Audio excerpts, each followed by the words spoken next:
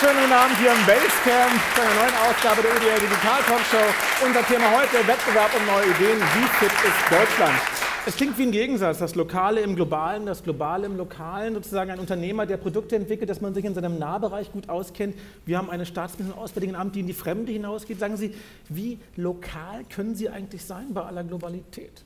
Ach, wir können sehr lokal sein, denn wir gehen ähm, zur Jugend, wir gehen in die Schulen, auch im Ausland. Wir haben ein Netzwerk von 1500 Schulen weltweit, wo immerhin eine halbe Million äh, Schüler sind, die Deutsch lernen, die das deutsche Sprachdiplom ablegen.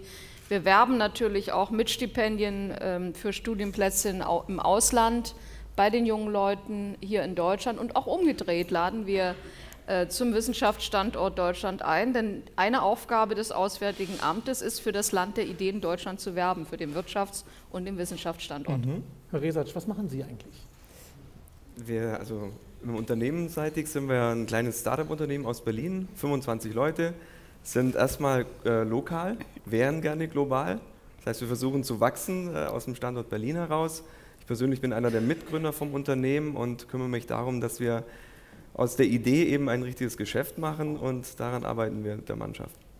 Frau Pieper, Deutschland produziert, äh, exportiert sehr viele klassische Produkte wie Autos, Maschinen, dergleichen mhm. mehr. Warum eigentlich so wenig Digitales, warum eigentlich so wenig Modernes von der neuen Generation?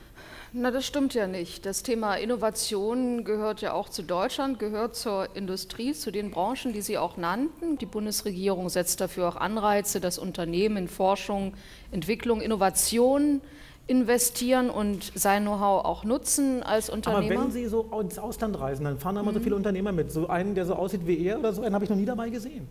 Nein, das ist ja nicht unmöglich. Er kann mich gern demnächst begleiten, wenn ich auf Auslandsreisen gehe. Das ist nicht das Problem. Fühlen Sie sich denn genü genügend unterstützt so von der Politik? Sind Sie der Meinung, Sie werden richtig nach vorne, nach draußen geschoben? Also ich freue mich auf die nächste Reise. Ja, ähm, der macht keine Gefangene, man merkt gleich. Ja? Ja.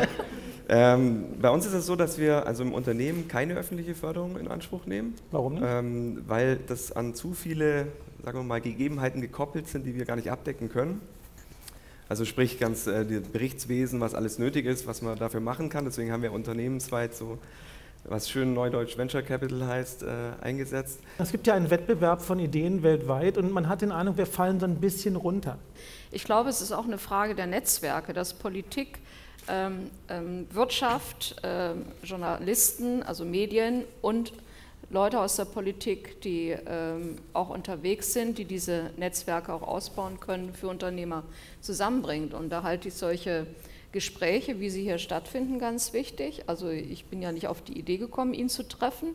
Tscherno Jobatai hat uns zusammengebracht, super. Wenn er die Förderprogramme nicht in Anspruch nehmen will, die natürlich für den Mittelstand insbesondere ausgebaut worden sind. Übrigens, das darf ich auch noch mal erwähnen, innerhalb von vier Jahren jetzt geplant 12 Milliarden Euro mehr in Bildung und Forschung zu investieren, allein 6 Milliarden davon in die Forschung. Hm. Man spart jetzt nicht an der falschen Stelle, sondern versucht auch Innovation weiter zu fördern, Start-ups, junge Unternehmen äh, zu fördern, weil davon lebt ja auch unser Land. Warum nehmen die so eine Hilfe nicht in Anspruch? Das geht mir irgendwie nicht aus dem Kopf. Also wenn wir jetzt quasi eine öffentliche Förderung mit allem, also ich habe das mal an der Uni gemacht, so für Drittmittelprojekte, alles auch beantragt, mhm. ich kenne die Fristen, bis irgendwas kommt ähm, dann wären wir schon lange pleite, bis das Geld da ist. Das heißt, wir brauchen ja jetzt Wachstumskapital, das relativ schnell zur Verfügung steht und an wenig gekoppelt ist. Wobei die Bundesregierung auch die unbürokratische Förderung plant, indem man das, was man in Forschung und Entwicklung investiert, steuerfrei stellt. Das Auswärtige Amt finanziert, glaube ich, so 45, 50 Prozent vom DAAD, Deutschen Akademischen Austauschdienst. Mhm. Da haben Sie beispielsweise so einen jungen Mann, das fiel mir auf, 1919 haben Sie mit ein bisschen Geld, der kam aus Eppelheim, den haben Sie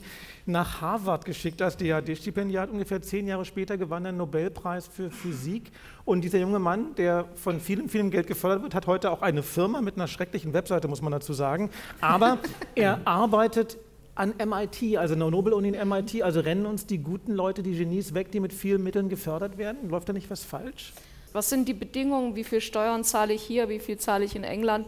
Äh, was gibt es hier für Gebühren, äh, für Lohnzusatzkosten? Und daran muss man arbeiten. Das sind die richtigen Rahmenbedingungen für Unternehmen, um hier in Deutschland zu bleiben. Wollen wir einen Realitätscheck machen? Sind das die richtigen Rahmenbedingungen?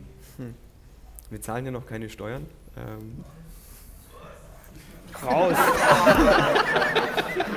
Nein, es ist so, wir ähm, machen natürlich noch keinen Umsatz, weil Venture Capital sind, also Umsatz genau, aber zu wenig, deswegen äh, bin ich da noch recht entspannt. Sind Sie glücklich? Muss sich nichts ändern? Von der Grundlage jetzt auch in Berlin ist es schon gut zum Starten. Äh, wenn ich dann aber ins Ausland wechseln will, sind die bürokratischen Hürden und die ganzen Gesetzestexte, die in europäischen Gesamtzusammenhang stehen, ein bisschen zu komplex. Also wenn man da runtergehen würde, wäre das einfacher.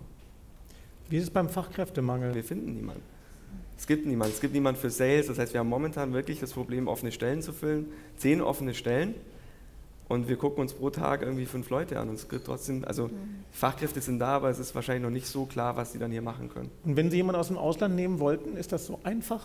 Nee, man muss da auch äh, behördlich relativ viel machen. Ja, das ist zum Beispiel, wenn Amerikaner rüberkommen, den Aufenthaltsgenehmigungen. Warum ist das so? Wir wissen alle, wir haben Fachkräftemangel, es gibt einen demografischen Wandel und äh, wir wissen alle, dass die Fachkräfte, die man braucht, wird der heimische Markt nicht decken können. Das ist ja nicht erst seit gestern so. Warum tut die Regierung da nichts? Um mal die Frage von dem Mann ein bisschen zu präzisieren. Na, äh, also der Mann hat sowieso recht, weil äh, ich glaube, dass es wichtig ist, dass man sich von Unternehmen anhört, wo, wo der Schuh drückt. Mhm. Sonst kann man das auch nicht abstellen. Aber die Regierung hat ja gerade das Zuwanderungsrecht erleichtert. Da sind wir jetzt einen Riesenschritt weiter. Das wird aus meiner Sicht einen Schub äh, geben. Aber es gibt eben auch Bereiche, wo einfach Leute fehlen, was man auch durch, ich sag mal, Abwerbung von Fachkräften aus dem Ausland nicht so schnell abdecken kann. Zum Glück ist ja Deutschland schon äh, was die MINT-Fächer, also Mathematik, Naturwissenschaften anbelangt, besser geworden, auch im internationalen PISA-Vergleich. Aber das reicht nicht aus. Ich kann mir hier nicht vorstellen, dass Konservative für mehr Zuwanderung sind. Aber müssten wir nicht in die Richtung denken? Es ist ja so, dass wir ein Programm auch haben, äh, was direkt auch Wissenschaftler, was Gründer auch einlädt nach Deutschland. Selbst das wird ja heute schon gefördert. Äh, das ist ja äh, komisch, dass sie trotzdem nicht kommen. Und ich glaube, dass wir einfach viel mehr ähm, in solchen Strukturen denken müssen, dass es dann nicht nur um die eine Person geht, sondern dass wir eben auch die Familien einladen, die hier arbeiten und leben wollen, dafür eben die Bedingungen schaffen. Aber das wird ja gerade gemacht. Sind wir jetzt schon fit für den Wettbewerb der Ideen oder sind wir richtig fit oder nur so ein bisschen mittelfit oder so ein bisschen glaube, überhaupt nicht fit? Wir sind noch nicht da, wo wir hin müssen. Ich glaube, dass gerade in den Schwellenländern, in, in China, Indien, ähm, dass die unheimlich schnell aufholen und da muss Deutschland wahnsinnig aufpassen, dass wir äh, nicht an Schnelligkeit verlieren. Dann heißt es immer am Ball zu bleiben und nicht nachzulassen. Wie fit sind wir? Ich glaube, dass vieles, ähm, also das Beispiel USA ist ganz gut, Silicon Valley. Ähm, da geht man dreimal Bier trinken und hat 10 Millionen. Ja? Ist das so? also wenn man mit einer guten, also vielleicht mal so vom Vergleich, wenn man mit einer guten Idee kommt und man, also es war zumindest früher so mittlerweile. Die Kneipe möchte ich gerne mal kennenlernen, die müssen Sie mir ja mal sagen. Gerne.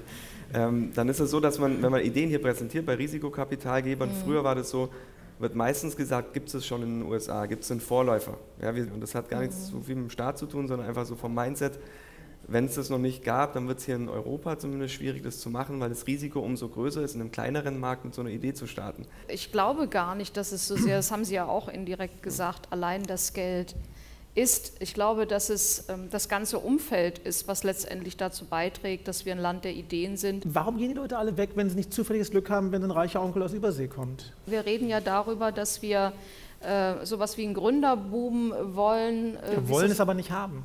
Ja, ich glaube, dass wir einfach wieder mehr junge Leute brauchen, äh, die auch den Mut haben, eine Firma, ein Unternehmen zu gründen. Ähm, dazu gehört aus meiner Sicht auch, dass man äh, so eine Kultur der Selbstständigkeit frühzeitig mhm. auch bei jungen Leuten erzieht. So etwas gibt es ja gar nicht. Diese Kultur der Selbstständigkeit in, in, Schulen, sowas erleben sie heute nicht mehr. Das trägt auch dazu bei, den Boden fruchtbar zu machen für Unternehmensgründungen. Es ist ein Zusammenspiel aus meiner Sicht von vielen Faktoren und hat nicht allein was mit dem Kapital zu tun.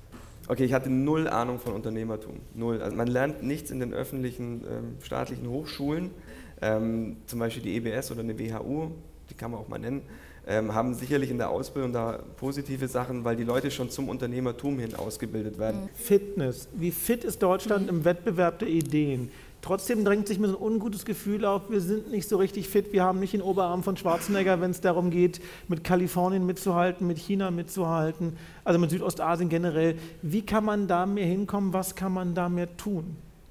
Sie ich kann jetzt mal ins Wespennest äh, stechen und Selbstkritik üben. Ja, das ist Ich schön. halte, ja, man muss auch mal mit Selbstkritik vielleicht anfangen. Ich halte es zum Beispiel nicht für richtig, zu sagen, wir stecken jetzt äh, Geld äh, in die Investitionen von Familien, die ihre Kinder zu Hause erziehen. Was wir eigentlich tun müssen, ist in die frühkindliche Bildung zu investieren, jedes Talent zu fördern, jedes Kind frühzeitig zu fördern, individuelle Förderung vorzunehmen. Das ist die beste Investition, die man machen kann und dann kommen auch mehr Ingenieure raus. Wie können wir Deutschland fitter machen für den Wettbewerb der Ideen? Also frühkindlich kenne ich mich nicht so aus, aber zumindest in, in Grundschulen oder in den Schulen schon anfängt, tatsächlich die unternehmerische oder das Denken zum Unternehmer Richtig. ein bisschen zu fördern. So diese, diese Kultur von einem Fehler, wie man damit umgeht, dass man mhm. mal irgendwie auf die Füße fällt oder auf die Knie fällt, äh, dass es nichts Schlimmes ist, dass man wieder aufsteht und weitermacht fehlt tatsächlich noch so ein bisschen. Und wenn ich da halt sehr früh in der, in der Schule schon anfange, es gab ja schon immer Gründerwettbewerbe, Unternehmerwettbewerbe, aber das noch mit anderen Anreizen zu unterlegen, dass vielleicht noch mehr Kinder mitmachen, noch mehr Jugendliche, denen auch die Technik an die Hand gibt. Richtig. Wenn Sie jetzt gleich zurückgehen in den Bundestag, treffen Sie ja sozusagen auf Ihre Kollegen, die da so Merkel und so weiter heißen. Dann werden Sie Ihnen wahrscheinlich erzählen, ich kam da gerade von einer Veranstaltung, da waren die Leute irgendwie skeptisch, dass Deutschland nicht fit genug ist für den Wettbewerb. Was sagen Sie denen dann? Was mir wichtig ist, was ich dann sage, ist, Deutschland wird nur fit äh, für den Wettbewerb, wenn wir auch mehr in die Köpfe investieren. Und das hat ja der Bundestag gerade wieder beschlossen.